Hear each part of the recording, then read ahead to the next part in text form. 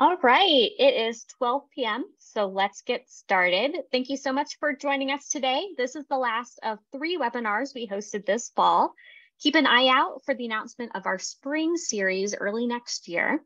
And if you would like to be kept in the know and aren't already subscribed to our monthly science and conservation newsletter, Go Botanical, you can sign up on our website. Uh, that's where we make a lot of these announcements, as well as other events uh, that happen virtually and in person. I'll be dropping the link uh, in the chat for that shortly, and also a link to our webinar series page where you can view recordings from past webinars. This webinar is being recorded We'll be sending the recording out to you sometime in the next few days. Throughout the presentation, please feel free to ask questions using the chat feature or the Q&A feature. We will be holding a general Q&A at the end where I'll be asking uh, any questions that you drop in to our panelists.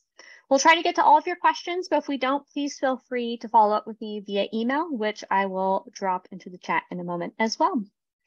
Uh, we're hosting today's session from lots of different places, uh, but mostly from our Botanical Research Center here on Kauai. And I have with me Dr. Nina Ronstedt, our Director of Science and Conservation, who will now tell you a little bit about today's session. Thanks, Amanda, and welcome to all of you, and thanks for joining us today. We have created this series of webinars to invite you behind the scenes to meet all the people who are leading our science and conservation work. And NTBG is dedicated to understand and preserve tropical flora and ecosystems from our base here in Hawaii. And Hawaii has a really unique flora to take care of with more than 1,360 native plants, most of them only found on these islands. And today is a special end of the year event, so we're really excited to share some of our important conservation highlights from 2022, ranging from exceptional discoveries in the field, uncovering the secret life of plants, to new technologies which all provide better and new opportunities for plant conservation. You may already have heard about how our drone program is helping us to discover rare and endangered plants on inaccessible cliff habitats in Hawaii. So first off, our drone program manager, Ben Nyberg, will be telling us about a new breakthrough this year. Let the celebrations begin. Ben, the floor is yours. Thank you.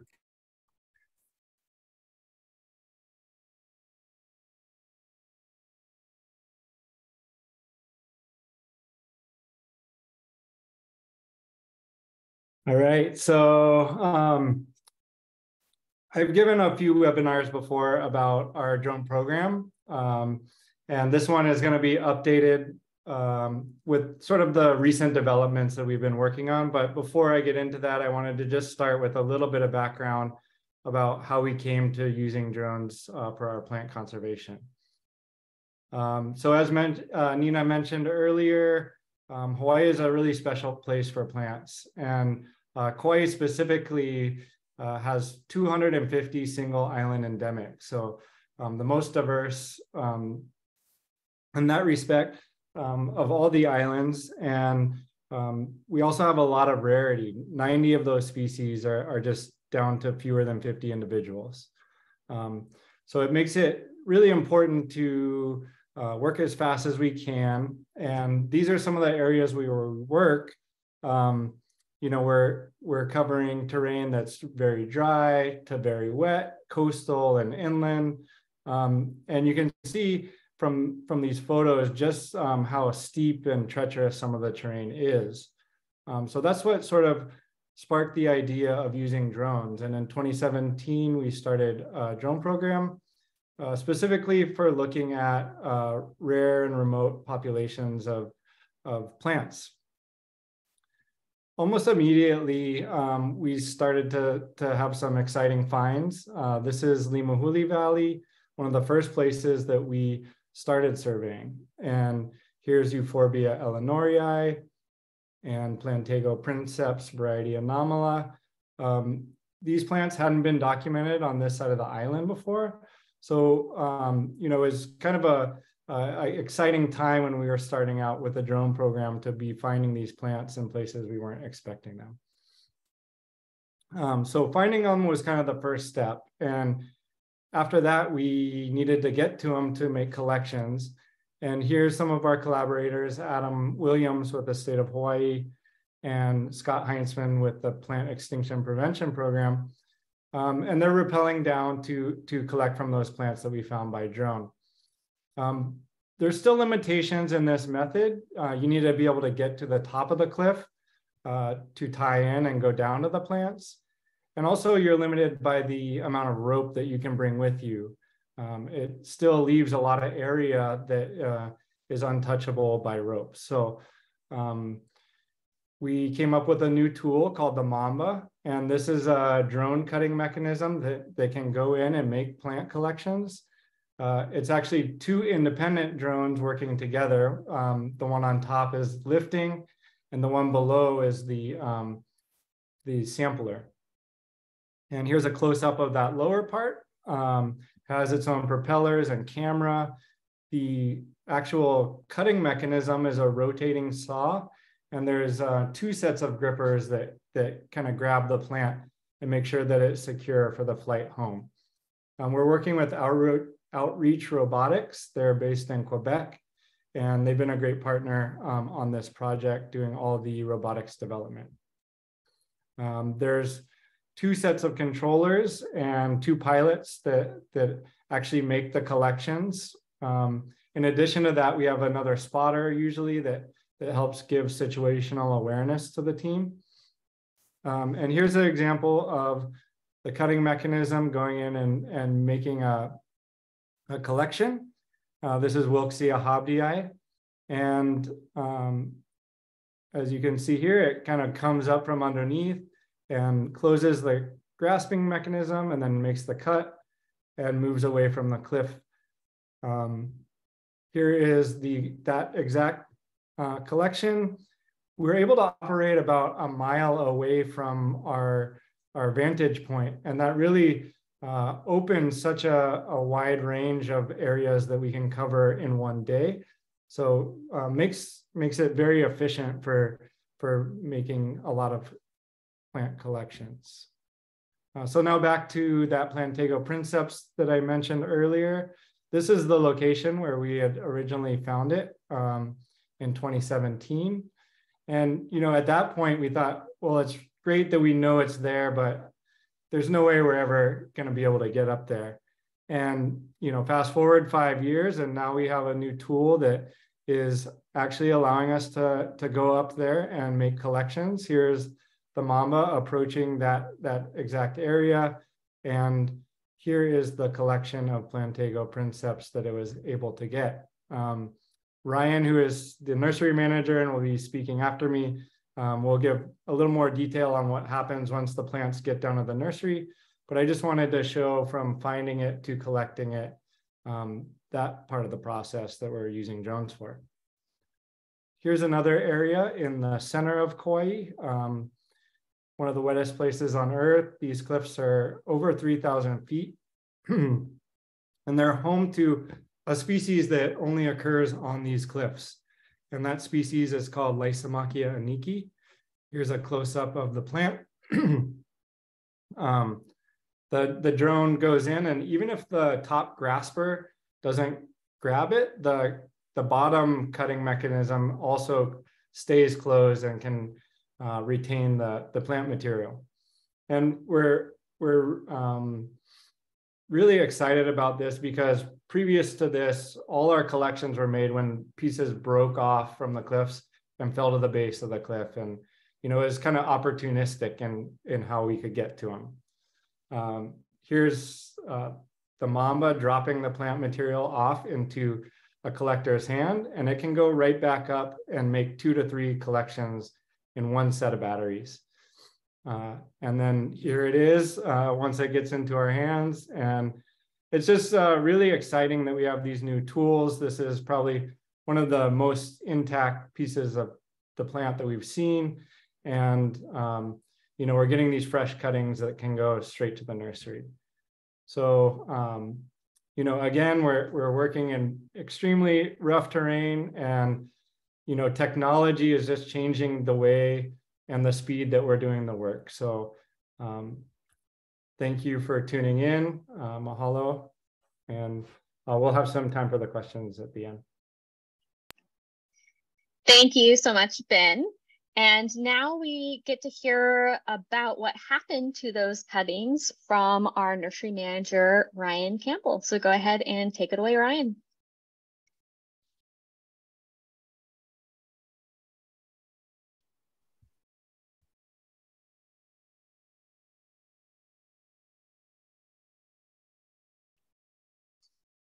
You're muted, Ryan.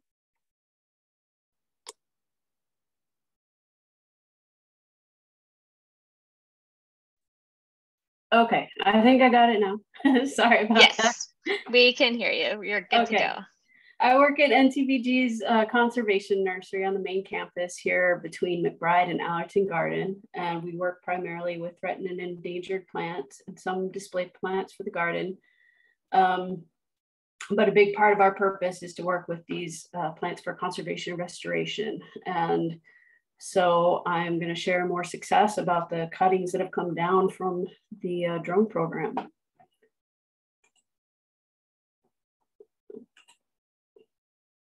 All right, so one of the most exciting things I think about the drone program is how quick we can get the plants down to the nursery and get them um, processed for propagation.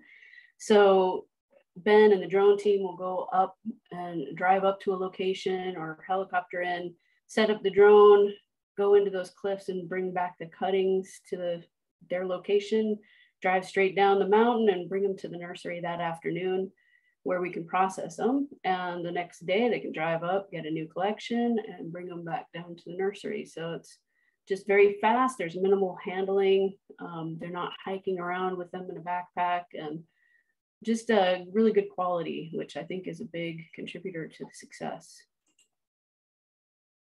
So this first plant that I'm going to talk about is Lysimachia hillebrandii or Kolokolo kuahivi.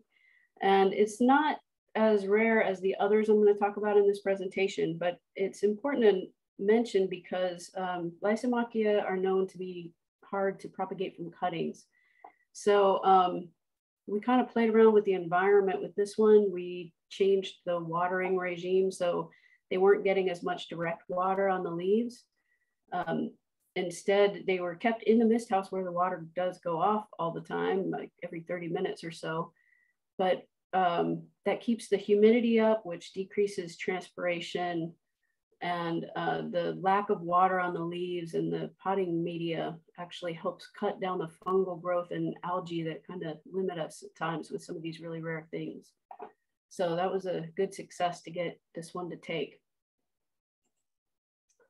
The next plant here is Lysimachia iniki, which is the one that Ben was showing, one of the ones that Ben was showing in his presentation. And this one was named um, after Hurricane Iniki when fragments had fallen off the cliff and one of our botanists found it or um, yeah. And so we've tried to grow it from cuttings uh, before from these different fragments, but we really don't know how long those fragments were sitting down at the bottom of the cliff. Um, so this is a, an opportunity to get them very fresh and bring them straight back and get them propagated.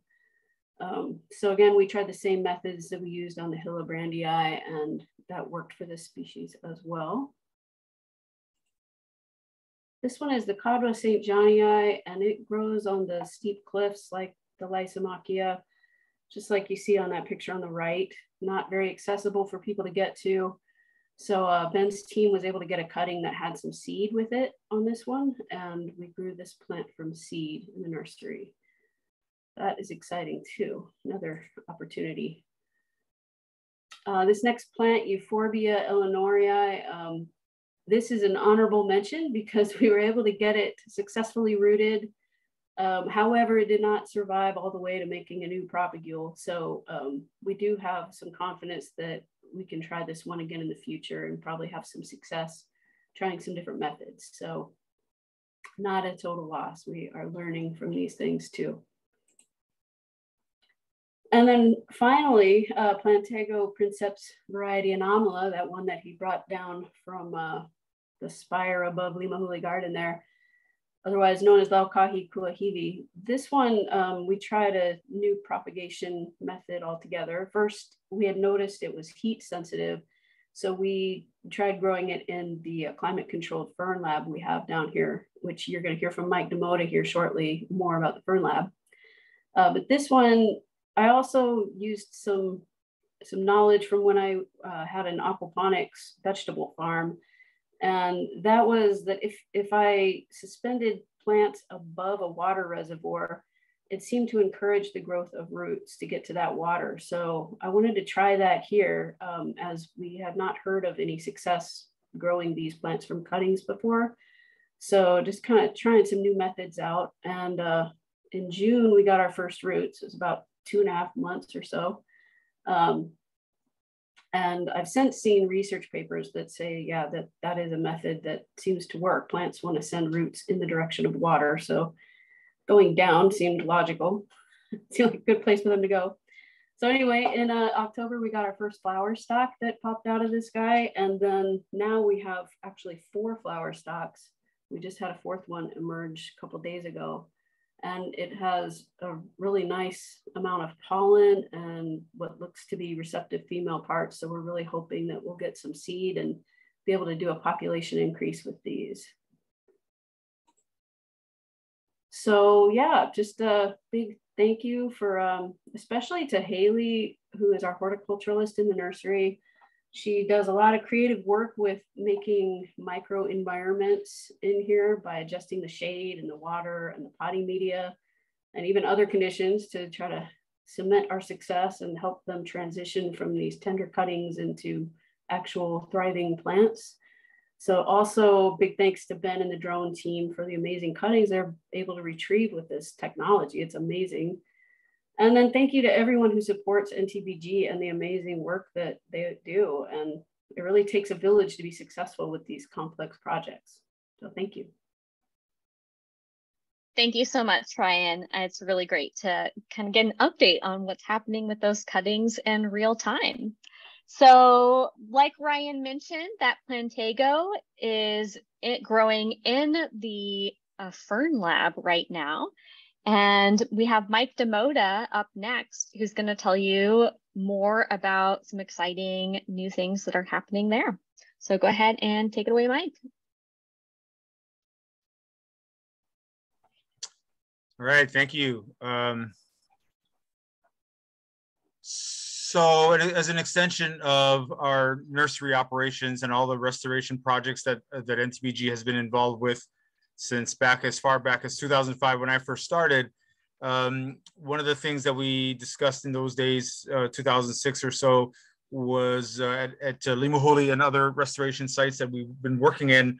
Um, we were primarily growing shrubs and trees, and uh, uh, you know anybody who's been into native ecosystems will tell you uh, that there are plenty of ferns and, and epiphytes that grow on the branches and, and, and stalks of the of the trees and shrubs that we were kind of missing in some of our restoration projects. So we were very interested at that point to, to be able to grow ferns. Um,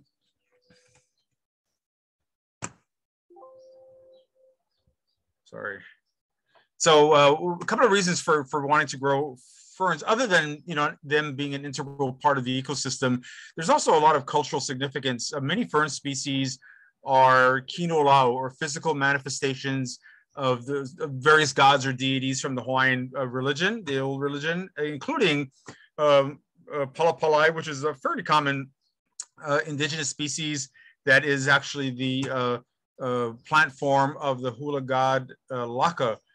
This fern, the picture of this fern, Pala, uh, Marattia douglasii, is actually an important fern used or formerly used in ceremony during uh, the Makahiki festival, which is actually going on right now. This is the season of Makahiki. This fern was sacred to the god Lono.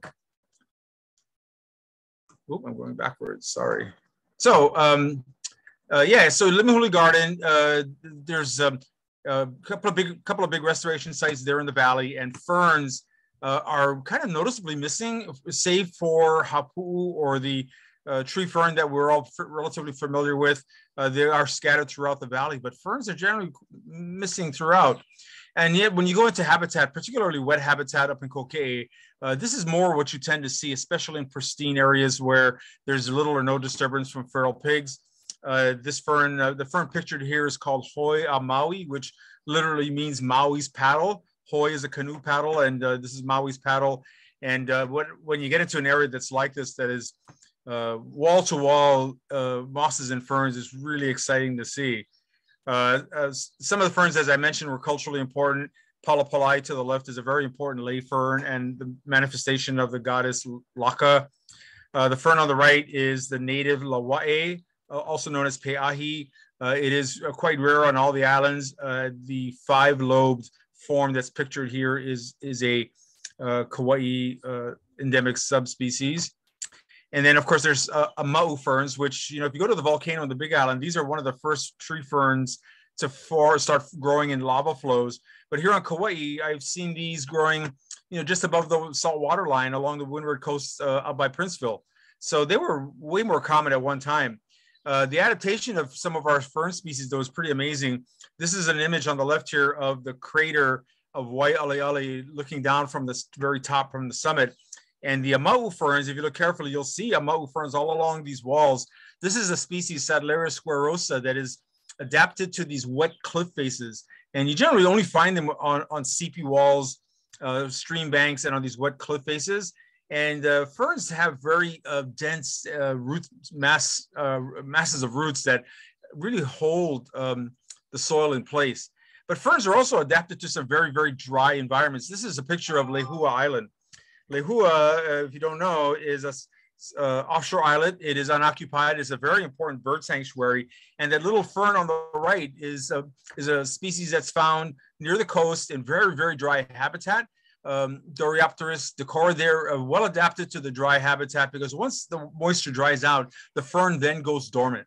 So they're still out there. It's kind of exciting when we when I first saw them out there the first time I went out to Lehua. So uh, this is a, graphic on uh, just a quick thing on on uh, pr producing ferns from spores.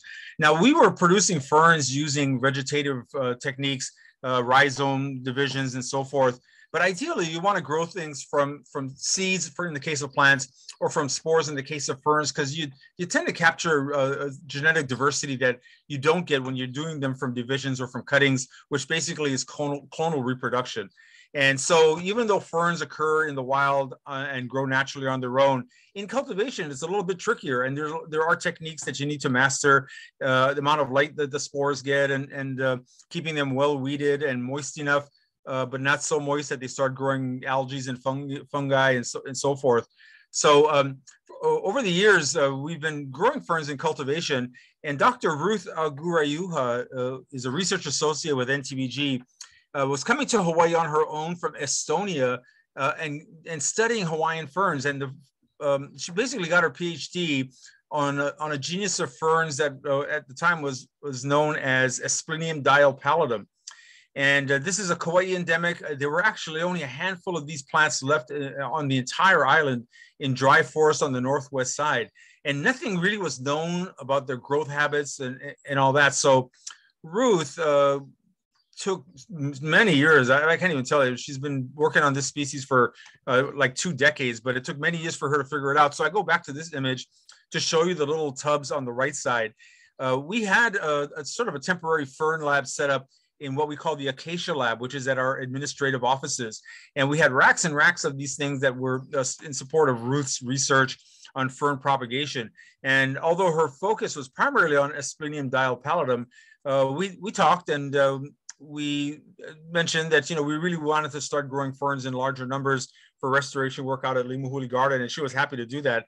So we had bought additional racks and, and growing lights, and uh, we kind of set it up in, in the Acacia Lab. And for a couple of years, we were able to do it. Now, so the groundbreaking research for this was uh, she discovered that you can't just sow the spores of one plant and get results. Generally, if you sow the spores for this particular species, um, they, they, they sprout and they become what looks like moss or gametophytes, and then they don't develop any further. And so after a couple of years of trial and error, she ended up mixing spores from two different collections, and then she saw progress.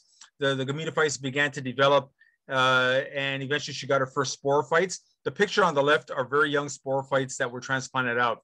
Now the other asplenium, uh, well, it was uh, Doryopteris and, and all before was Asplenium dielmannii.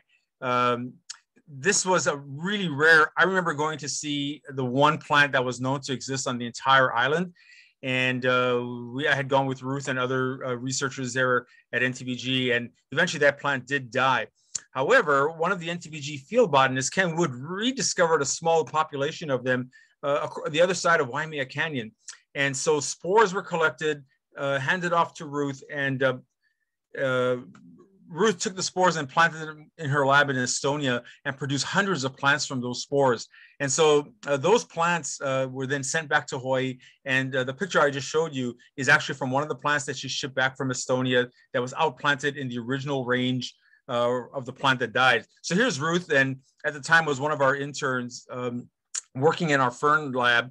Uh, but you know, over the years, uh, because it was it it was just sort of a side project. Our fern lab was never um, fully staffed. Ruth would come for three months out of the year. We would uh, get interns through the uh, uh, members through the Kupu program, or we would recruit interns in house, and we would have interns learn every year through every intern cycle how to do the work that Ruth took decades practically to learn how to do. So it was really uh, frustrating uh, until the last couple of years, NTBG, uh, under the leadership of our CEO, Janet Mayfield, committed to the Fern Lab. We made it a primary uh, function. We did fundraising, targeted fundraising for it. And I'm happy to say that we now have a full-time Fern Lab technician, Emily Cezate, and um, our field botanists are excited because now they bring in fresh spores uh, um, that go to the Fern Lab and we work on it um, get them propagated and are, are documenting the protocols that are necessary to grow ferns from spores. I have this picture up because this is a really unusual uh, Kauai subspecies, endemic subspecies for Kauai, Dryopteris crinalis variety podosorus. And the way the spores are presented, the sori here is really pretty remarkable and kind of shows art in nature because it's really a beautiful thing to look at. Um, one of the projects that we did as well, though, was uh, go into our herbarium because we have a lot of fern uh, uh, uh, specimens stored in the herbarium, lots of uh, voucher specimens. And we wondered, uh, will, would spores withstand the vouchering process? So you collect the fern in the wild, you know, the leaf blade, and you press it, bring it in, put it in the dryer, and create an herbarium specimen from that. And and so we've had fern collections in our herbarium that, that date back many, many years. And we actually went back and uh, our interns at the time, Emily was an intern, went back and recovered spores from, from a number of herbarium sheets. And even after a couple of decades, some of those spores did germinate. So our, our hope in the future, uh, as we improve, increase our capacity in the Fern Lab, is to be able to go back and look at some of the other older herbarium sheets and possibly pull spores off of sheets that might be representing species that could be really rare or even extinct in the wild, and maybe recover those species from what's in our herbarium. So uh, that's really exciting for us. And uh, uh, again, you know, once we increase our capacity, we'll definitely be able to do that. This is a, a the underside of a tree fern species called Cibotium menziesii. Um, and I and I show some of these just to show the differences between the ways the sori, those little capsules where the spores are stored, are held. And then here's a microscope picture of what spores look like after they release. We will collect um, leaf uh, bits of leaves that have sori, the, the capsules underneath that are near maturity, and then we'll put them in sheets of paper, fold the paper, and let them dry out. At which point the spores are released, and this is what they look like. Um, because spores are microscopic, all the work has to be done using a microscope. Uh, we were able to purchase a new microscope recently through a grant that we got through the county of Kauai, and uh, we can uh, better document the process because there's also a camera in this microscope, and we can take images of each of the steps uh, of the spores as they develop. So again, this is the technique that we use. These are, are phytotrays, and there's there's media in there. It's either a sterile uh, peat moss, cocoa fiber blend, or in some cases, there might be some native soil that we will sterilize and use as, as our primary media to germinate our uh, spores.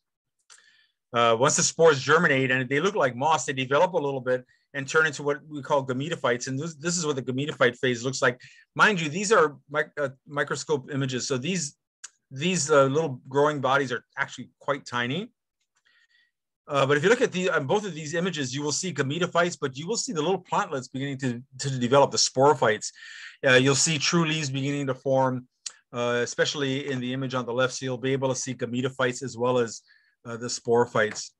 And uh, that last image was of this species of fern. This is called Kumunio Doryopteris angelica, which is a Kauai endemic. and one of the PEP species, meaning that there's uh, only been uh, 50 or less documented individuals in the wild. Uh, this is one of the easier ones to grow. It's kind of encouraging that uh, a fern that's this rare is really quite um, straightforward and easy to grow. And uh, hopefully we'll be able to develop protocols for growing all the different species, especially the rare ones for Kauai and the rest of the islands, so that we can uh, help with their conservation and get them restored back into, into their habitat uh, in the, uh, our greenhouse uh, at the nursery, we have a section in the back that's called the cooler room. There's a swamp cooler fan, and the sporophytes, once they're strong enough, are then brought out back there to be hardened off in their natural environment. So mahalo, I appreciate your time. All right. Thank you for taking us into the world of ferns, Mike. So now we're going to switch over to Shauna Walsh, our conservation biologist, who's going to be telling you a bit about some progress we've made with Brighamia insignis this year. So thank you, Shauna, and go ahead and take it away. Thanks, Amanda, and thanks for every, uh, thanks to everyone tuning in. So for today, I'll be sharing some collaborative work in applying the zoo community's pedigree-based population management approach to improve collection health for the extinct in the wild species, Brighamia insignis. Brighamia insignis is historically endemic to Kauai and Ni'ihau. These photos were taken by Steve Perlman and Ken Wood when it still occurred in the wild.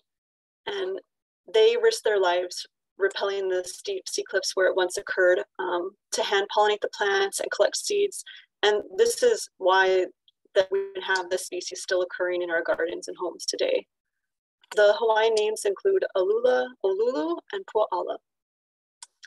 And um, you just heard from um, our first talk from Ben Nyberg, our GIS and drone program coordinator. Um, he and Ken Wood, who was one of the last, or one of the people that last saw the last remaining plant, they conducted drone surveys in 2020 to try to see if that last remaining plant was still there. And sadly, they did not find it. So this is um, where now we consider this species to be extinct in the wild. And so we're applying the zoo community's pedigree-based population management approach to rare plants in botanical garden collections because conservation genetics can help to save species. For many years, zoos have been using stud books or pedigrees including using genetic data through the use of molecular tools to guide breeding programs for threatened captive animal species that occur within zoos, such as the California condor pictured here. And about 175 critically endangered animal species have stud books documenting their pedigree or relationships to each other. And a handful of botanical gardens, including NTBG, are now bringing this concept to plant conservation, we're adapting these approaches and tools that zoos have been using successfully to conserve animals for plants. And we're using Brighamia insignis as a case study. And results of our work so far suggest that strategic breeding for Brighamia insignis may result in healthier plants for restoration. So I'll share some of what we did and are continuing to do still now. We conducted crosses among different collections by obtaining pollen from plants held at different institutions to end up with progeny uh, that had different levels of genetic diversity and inbreeding. And here's a photo of some of these progeny that I took at Chicago Botanic Garden when I was working with colleagues there on different aspects of this larger project. And what we found in summary is that progeny with higher genetic diversity and lower inbreeding resulted in more vigorous plants. This isn't too surprising. We know that inbreeding causes problems in animals, and other studies have shown that it, inbreeding causes problems in plants. We're just, what's new is we're finally applying this knowledge to how we manage collections of rare plants in botanical gardens. And in this photo, we have a randomly selected plant from each of the cross types we did. And those plants are labeled at the bottom by their botanical garden pollen donor. And they are arranged in order from the most inbred uh, on the far left to the least inbred on the far right. And so plant height was significantly higher in the less inbred progeny, and we found the same pattern for pollen production and pollen viability. We then conducted another set of crosses in 2021 among these progeny to examine fitness in the next generation.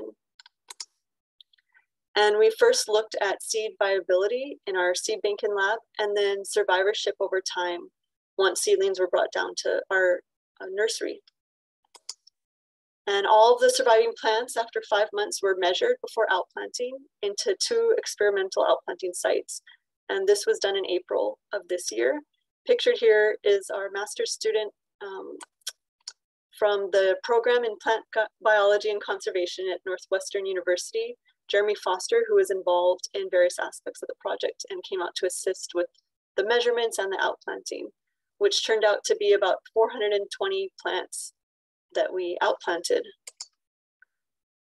And half of them were planted at our Limahuli garden on the North Shore. And this is very near to the known historic range of this species.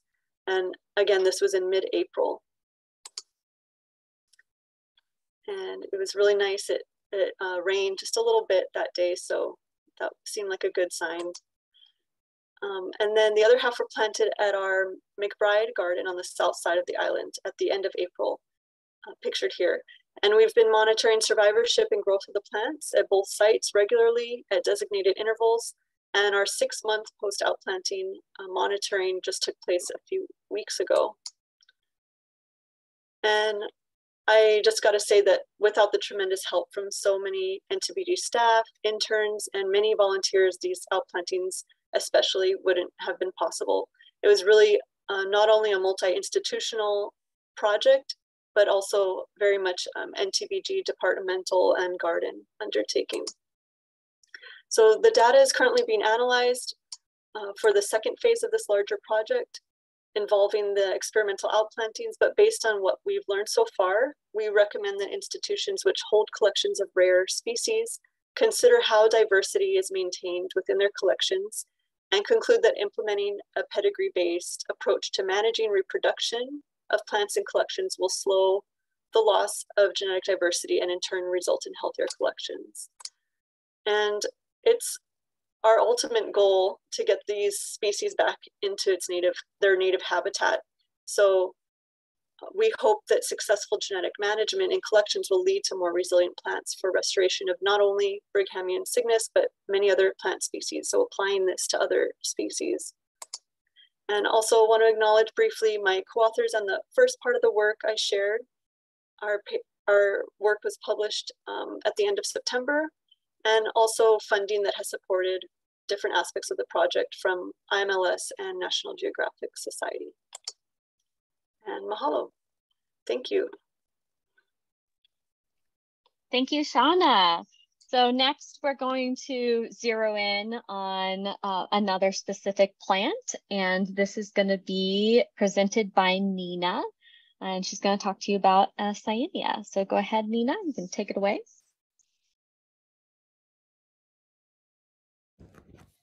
Thank you, Amanda. Um, so in 1991, uh, I just need to, a team of botanists led by NTBG senior field botanist Ken Wood helicoptered into the headwaters of this remote towering waterfall 500 meters above sea level in the Mahuli Valley on the northern Kauai. And here they discovered a new species of Cyanea with elegant narrow leaves and purple flowers, and the new species got the name Cyanea kuhihewa in Hawaiian. And hardly was it discovered before Hurricane Iniki struck in 1992 and severely impacted all of Kauai and destroying portions of the forest around Limahuli as well. And this was soon followed by an influx of alien invasive species of plants and animals, which led to a struggle and a decline of Cyanea kuhihewa. And the last plant sadly died in 2003. And as the IUCN Red List would say, Cyanea kuhihewa appeared to be extinct shortly after it was discovered. However, in 2017, another team of botanists from NTBG and the Nature Conservancy discovered another small group of a few trees in a nearby valley. And this really gave us a new chance to save this species. And Ken and his collaborators have been revisiting this area regularly, installing rat traps, cleaning out weeds, bagging flowers, and collecting seeds as possible. And some of these seeds are stored in the NTBG seed bank, and some were propagated in our nursery, and we also got help from Lyon Arboretum Micropropagation Lab. And in 2020, the first four small Cyanea kuhihewa trees were finally planted out in NTBG's Limahuli Preserve which is where we are able to keep on monitoring and taking care of them. So by 2021, one of the first outplants was growing really well in the preserve, as you can see here, reaching a height of 35 centimeters. However, as Ken was returning to the wild population in 2022, the mother tree, which had by then given us more than 7,000 seeds in itself, had now died off. And while it's really fantastic to get all of these seeds from just one tree, there is really a high risk of inbreeding, resulting in weaker new plants that may not be able to reproduce, as Shauna was just explaining, for Brighamia insignis. And the other two trees in this new population have not provided any mature seeds yet. So clearly, Cyanea kuhihewa is still critically endangered. So in 2022, we had to up our game with our collaborators. So Lyon propagated another batch of seeds, as did the NTBG nursery. And soon we had 40 young trees in the nursery, 12 was outplanted in September, and the rest are waiting to go out hopefully later this year.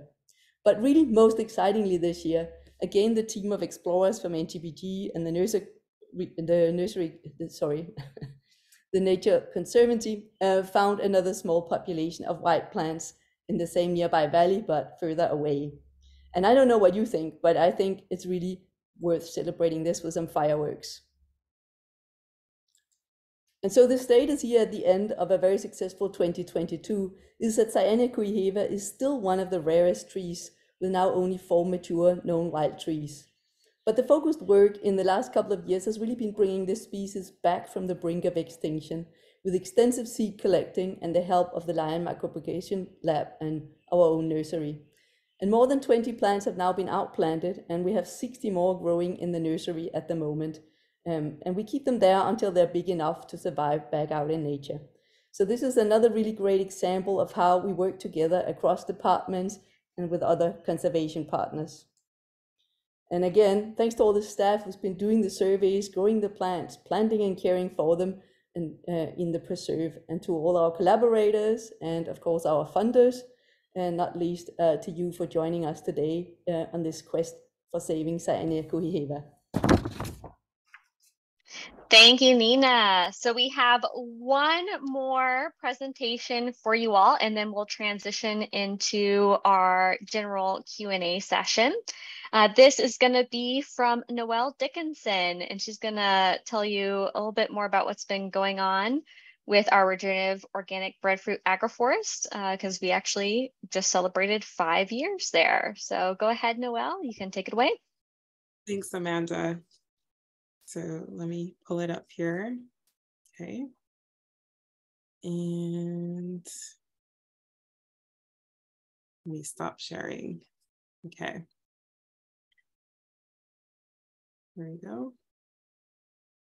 There we go. Okay.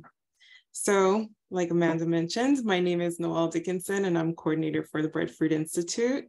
Um, and I've been working at the Institute for the last five years, and during that time, we have established uh, the regenerative organic breadfruit agroforestry demonstration, and it's we're it's been five years, so we're celebrating. Um, as some of you may know, so what's the point of starting the agroforestry in the first place? As some of you may know, here in Hawaii, um, we deal with the same issue that many islands uh, across the globe deal with, and that is that we're food insecure. So most of the food that we eat here in Hawaii is import imported, and there is very limited supply um, if something were to happen.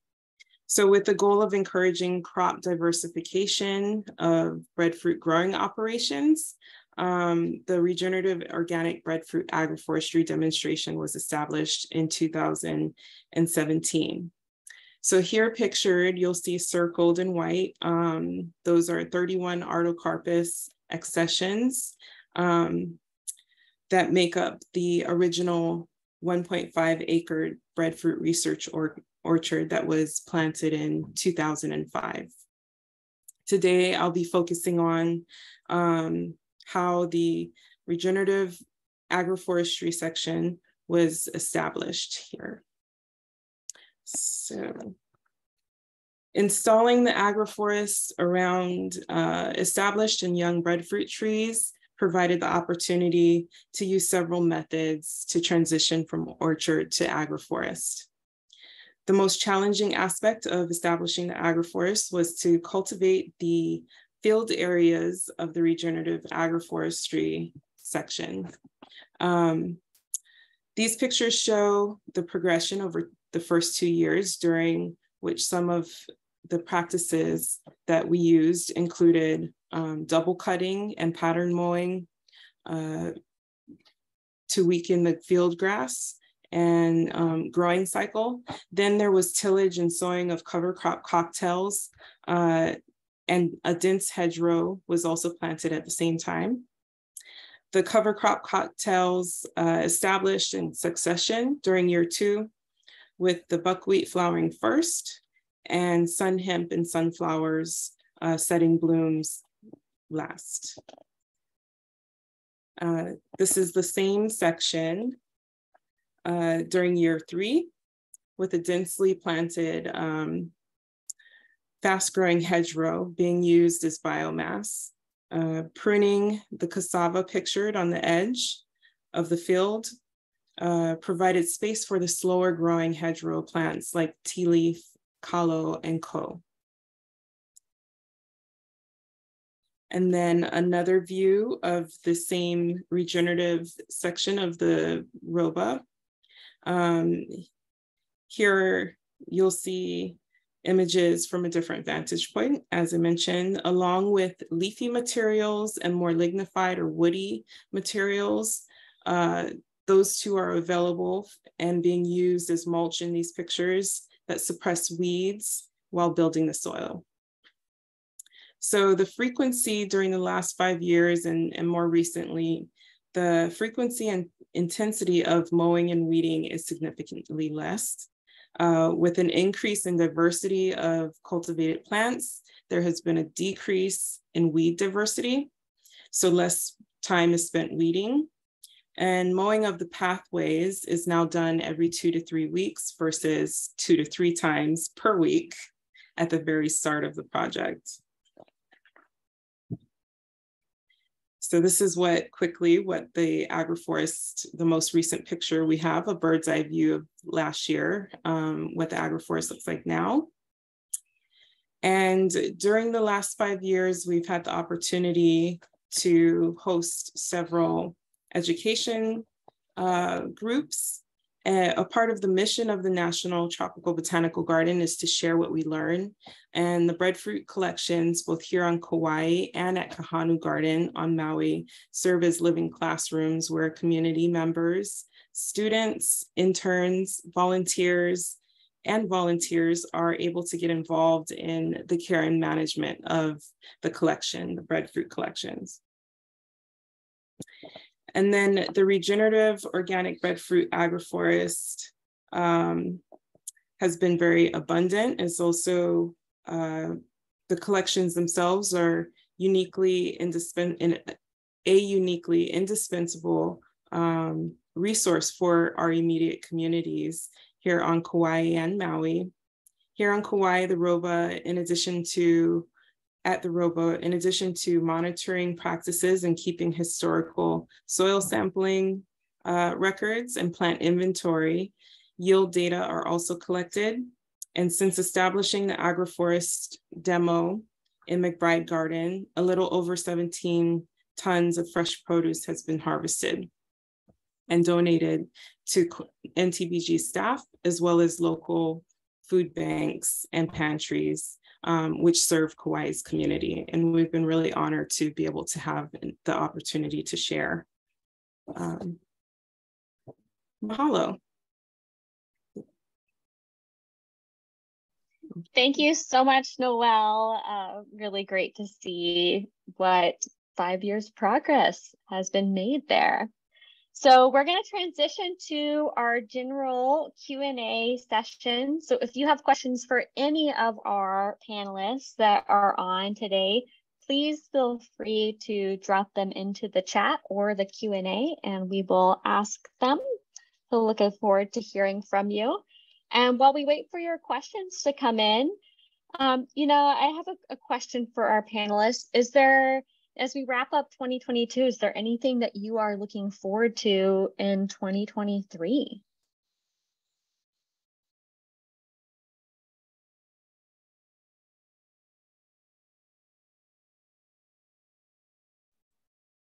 I have I, I can give something for that. I so so since we've had a full time person in uh, you know Emily in our fern lab, uh, there's been a lot of propagation going on uh, of the, of course the spores that came out of the herbarium sheets, but then lots of freshly collected spores that have gone into the lab. And so I'm excited to know uh, in the next year um, how many ferns that that turns into.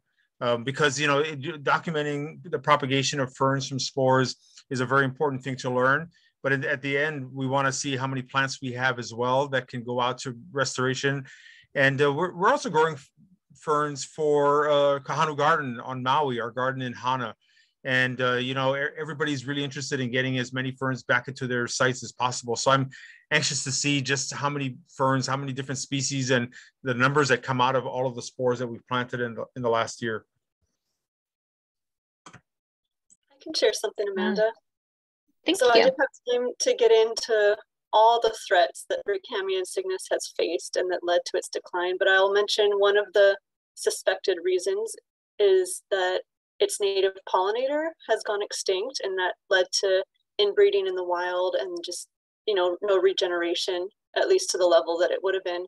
And based on the flower shape color um, the nectar the fragrance it's suspected that it was some sort of hawk moth and um, interestingly kauai has an endemic hawk moth um, Tinostoma smaragditis uh, the fabulous green sphinx moth of Kauai. And actually, in Ben, he showed an illustration of Brighamia insignis with the suspected possible native moth pollinator, pollinator that fabulous green sphinx.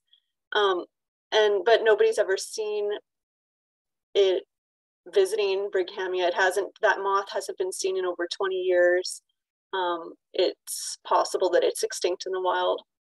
And we were invited to put in a proposal to explore this more and kind of see if we can solve this mystery of what pollinated Brighamia. So not that we have um, heard that we're going to get the funding, but we put in a proposal, and if it gets funded, it's really exciting next year. Um, what we're planning to do is look at specimens of Tinostoma that are held in museum collections, um, primarily at Bishop Museum, and um, collect pollen grains and then use DNA metabarcoding to see if we can identify Brighamia pollen on those moth specimens. So that's something I'm really looking forward to. Um, and Nina, you want to add on to that? Yeah, I definitely want to add on to that because um, I should, we should also mention that Shauna just actually did manage to get another grant, which is taking uh, two additional species into um, studying uh, using the genetics to understand the collections. And we're going to try to take it a step further now. Our nursery is also excited in, in getting involved with this and our um, living collections management. So that we will actually not just try it out, but actually use this data to establish uh, or re-establish collection of a couple of other plants, one of them being a hibiscus. So we'll figure out what how would we best represent the diversity and then actually go out and collect those plants. Um, in the wild as well and see if we can improve our collections that way. So we constantly strive to take things even further and, and try to improve ourselves each time. And this is necessary because these plants and the risks that are exposing them don't don't wait for us. Yeah, thanks, Nina, because that's for sure happening because that funding is secured and that's going to be underway. Um, I see a question in the chat. Would you be looking for a partner that could help bring the moth back? Um, is it still present somewhere in the wild? We don't know. Um, the state entomology program actually in recent years, like a few years ago, was doing survey work on Kauai for Tinostoma, that moth specifically. So setting up uh, lamps in certain areas where it had been collected in the past and seeing if they could attract moths into the area. But and I helped, I volunteered with some of those surveys and we didn't see the moth, but um, they were also approached by the same funder to try to do more survey work and see if there's a way, um, if it is there, to bring it back. Um, yeah, I hope that answers that. We don't know is the current answer. And then, yeah, I'll stop there. Thank you, Shauna. Uh, does anybody else have anything that they would like to share before I ask the next question? And the original question was anything you're looking forward to in uh, 2023? Yeah, I can uh, I can go on that one. Um, so, you know, we we spent so much time and energy working on developing this new tool. Um, and now we're super excited about sharing it with other people and sort of helping spread this new technology around to other organizations. Uh, we put in a, a, funding application to continue development on it and also work more closely with um, organizations around Hawaii uh, with PEP um, on all the islands to, to uh, get people up to speed with this, this new tool that we have. All right, thank you. Um, so, oh, we did have a, another question for you, Shauna, that came in. Um, so kind of like with the Fern Lab looking at um, vouchers, is there anything in the herbarium, any herbarium specimens with flowers that you could see if there are moth scales on them? Yeah, um, we haven't done that. I suppose that's possible. Yeah, um, that's something we could explore a little bit because I, I do know that moss scales, you know, fly off really easily when the moss like around the plant and maybe they're on like on a stigma because that's usually kind of sticky. So yeah, something we haven't looked at yet though. Thank you. And then we had a question come in through the Q&A from uh, Brittany. And I think Nina maybe partly answered this in the chat, but uh, have there been other observations of other native species of moths that could potentially be effective pollinators of Brighamia insignis? And if so, are there any habitat restoration efforts that could be done to encourage populations of those species to frequent outplanting sites?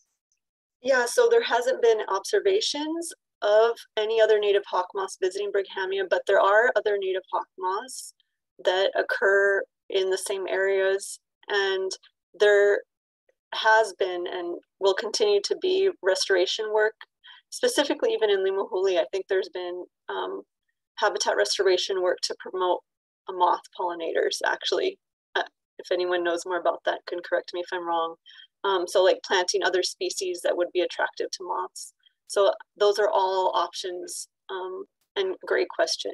Yeah, but I will say also that I got a video sent to me from somebody's phone like eight years ago on Maui, and they sent a video of a non native hawk moth visiting their Brighamia insignis plant at their house. So that's another, you know, if there's no native hawk moth, maybe there's some non native ones. And in this case, there was. Um, it was a pink spotted hawk moth. So that's the only known um, observation that I know of of a hawk moth visiting Brighamia insignis. Thanks again, Shauna. Appreciate it. So I just wanted to take another moment to thank everybody for joining us today and celebrating, you know, what we've been able to accomplish in 2022 and, you know, what we're looking forward to do in 2023. So if you are interested in finding ways to support any of this work that you've heard about today, I've just dropped a, a link into the chat to take you to our support page. And we are in the middle of our end of the year appeal right now, uh, which is people need plants. So we hope that you agree uh, that people need plants and we'll be sharing stories throughout the end of the year uh, just as to you know what we think is so special about plants and what we appreciate about them every day. So thank you all again for joining us. I will be sending out this recording to you in the next few days uh, along with a link to uh, fill out a survey to just let us know what you thought about today's session and help us plan our next series. So, mahalo, everybody. Ho.